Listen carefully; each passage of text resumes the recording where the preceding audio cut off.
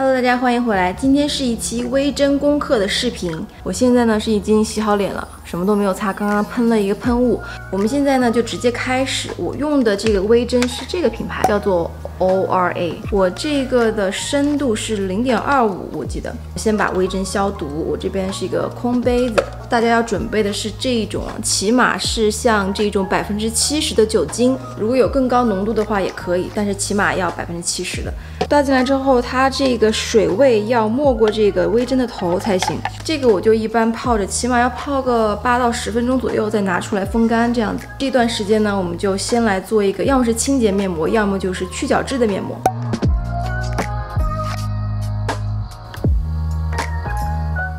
我一般嘴巴的地方都会涂到，因为我的皮肤不敏感，所以我一般都会带到这个眼皮的地方，因为待会儿像眼皮呀、眉毛这里都会滚到微针，所以这个地方一定要做好。现在就等大概十分钟的样子，十分钟之后，它这种白白的膏体就会被吸收掉，就会变成透明的。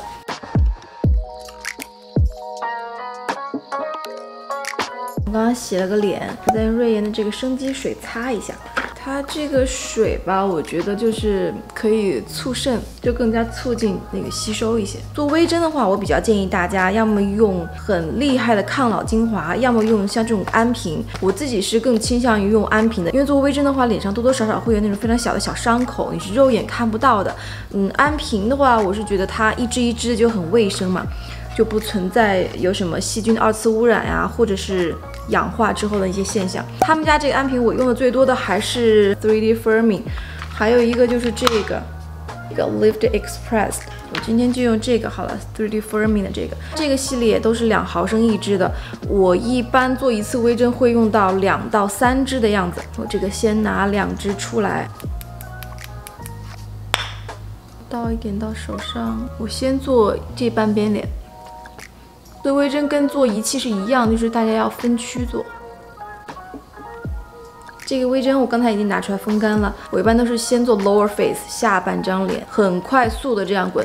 你不需要用很大的压力去压你的皮肤，那个样子的话，我觉得其实不太好。就是这样，嗯，不带太大力气的在脸上这样平面的滚就好了。做微针的有一个手法就是先这样横着滚，因为刚刚做完去角质还擦了那个瑞源的水，所以它这个精华吸收的非常快。所以一旦发现脸上有一点干的时候，就补一点精华。当然，有的人啊也是那样干着脸滚，然后最后再上精华。我是比较喜欢这样湿润着这样滚，就是感受会更好一些吧。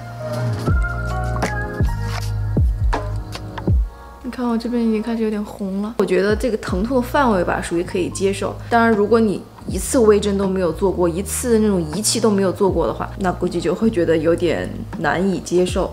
这样横着滚了之后呢，再换个方向竖着这样滚。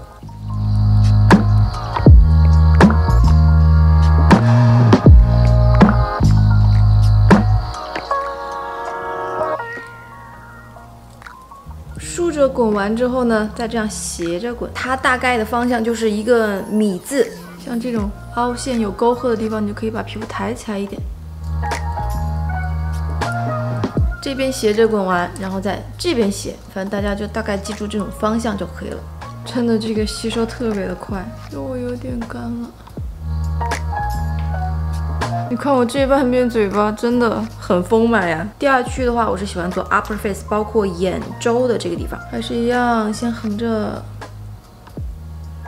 但这边啊，我是连鼻子会一起做。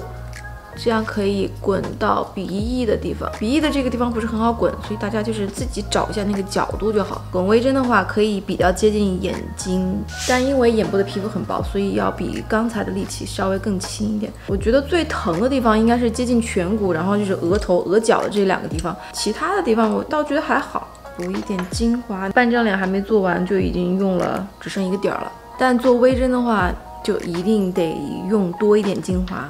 然后用好一点的精华才有效。上眼皮可能大家不好滚，就是自己要找一下角度。如果你不太知道怎么找角度的话，就一只手把额头抬起来，这样你的皮肤就往上了。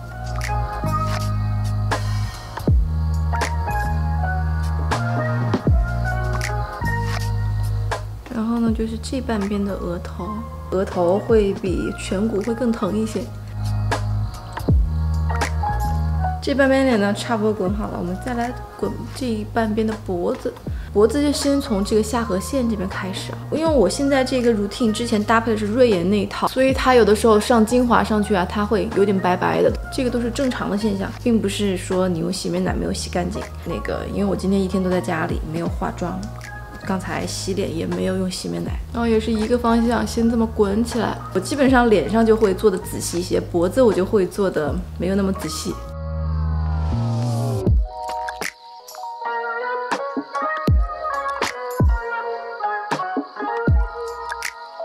脖子的话，这一边就大家多多少少都会有那么几条颈纹，对吧？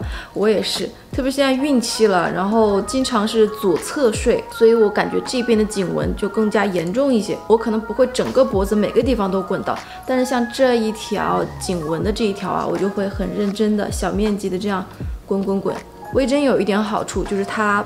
喉结、喉头的这个地方是可以做的，因为很多光电类的仪器，喉头这边是不让做的嘛。差不多这半边脸都弄好了，我现在呢再快速的把这半边脸给弄好。好啦，我现在脸跟脖子都已经做完了，这边脸刚刚做完，所以。稍微更加红一点，这边其实已经有一点褪红了。今天就是用的三瓶安瓶，两个是 Three Firming，一个是 Lift Express。这个滚完之后呢，你把微针给冲一下，就自然水管里面冲一下就好了。大家一定要记得，用之前跟用之后都要做好消毒的工作。八到十分钟的样子就可以拿出来风干。微针滚完之后呢，最重要的就是要镇定修复嘛。或者是你想加一些强抗老的东西都是可以的，你可以选择像这种啊玻尿酸的原液，我这个是理肤泉的，或者是 Barber 他们家也有那个补水的，我是把他们家好多都收集到这个小包包里边。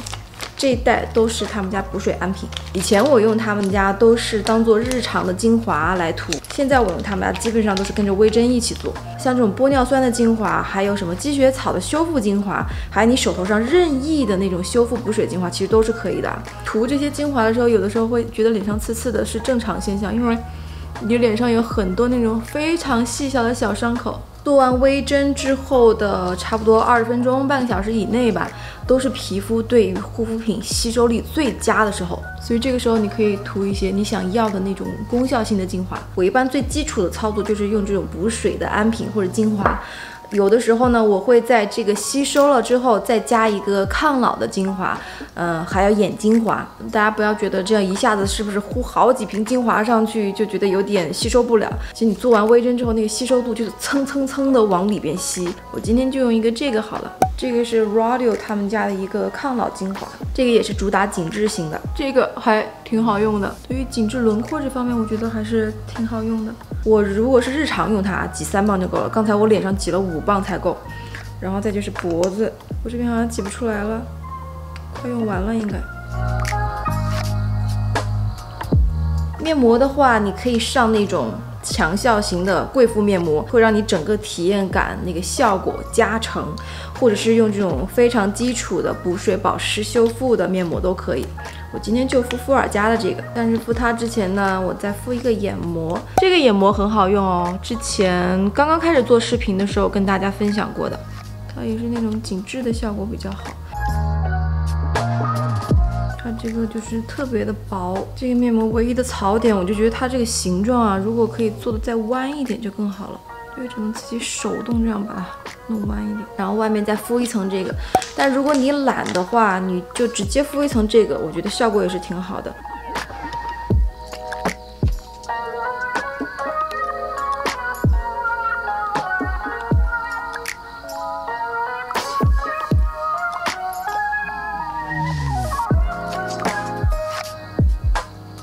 脖子这个地方一定也要敷着，因为它也挺红的。大家如果在国内好买的话，就买像这种化妆棉哦，因为它很大，而且可以拉伸的。我一般都是取两片，然后用这种喷雾给喷湿，它就可以打开这么大，然后就敷到脖子上。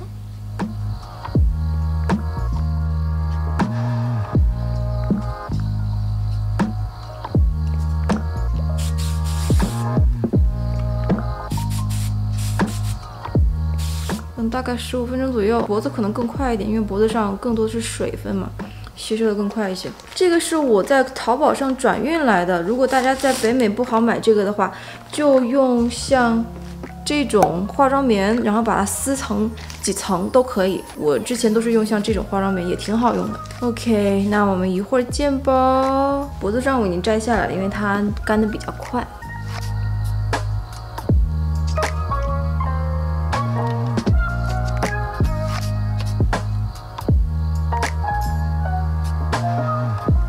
现在呢，敷完面膜了，脸上基本上都褪红了，但是我觉得还是比正常皮肤的时候要稍微红一点点。我现在脸上那个面膜的精华液都吸收完了嘛，而且真的是吸收的超级快。我刚刚涂了那么多层，然后现在脸就是像涂了一层水的那种感觉。这个时候呢，你就可以开始正常的护肤了。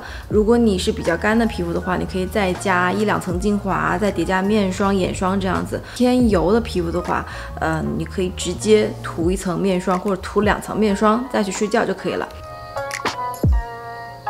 最后呢，我想再来跟大家画一下重点。第一个就是用微针的时候，每个部位用米字形的那个方式画。每个部位呢，其实不需要来回的滚太多次，就是很快速的每个部位滚到就 OK 了。然后是非常关键的一点，你做微针的那天最好选择下午或者晚上来做。当天做完微针，不要用清水洗脸。如果你是油皮，必须觉得要洗一下脸的话，你就用那种喷雾，然后喷湿化妆棉，然后轻轻的擦拭脸就好了。因为我们脸上还有很多小伤口没有修复好。如果沾清水的话，容易感染。再就是做完微针的当天，你不要擦防晒，不要化妆。但是到第二天睡醒之后，可以正常的洗脸、化妆。嗯，用清水洗都是 OK 的。我觉得做完微针最好的状态可能不是第二天，因为很多人第二天甚至是第三天脸上会有一点局部的微微泛红，有的时候会脱皮，有的时候会水肿。我自己是从第三天的时候就是状态就非常的好。第二天可能还是会局部有一点泛红。最后再说一下微针适用的人群，一定是要你是健康皮肤。如果你脸上有那种大面积的红肿痘痘，或者是有正在处于过敏期间的话，就不要用微针。一定是先等你的皮肤修复好了、健康好了，然后再去做微针。然后我就觉得微针是属于一个进阶型的选项，一定是对疼要有忍受度的人才去做，不然的话，可能你第一次做真的会觉得有点受不了。然后如果你怀孕的话，想做微针也是可以的，就是你孕。期做这些类型都是比较安全的，但是不管你怀不怀孕，做完微针之后的当天还有第二天，避免使用纯度很高的维 C，还有视黄醇一类的产品，嗯，因为那样的话会太刺激我们的皮肤，所以我想这就是微针大概要注意的一些事项。如果你们还有任何问题的话，可以留言或者弹幕告诉我，我之后再抽一期视频再跟大家做解答。那也感谢大家看到这里，如果你喜欢这支视频的话，可以帮我点赞，可以多多留言弹幕。那我们下周再见喽，拜拜。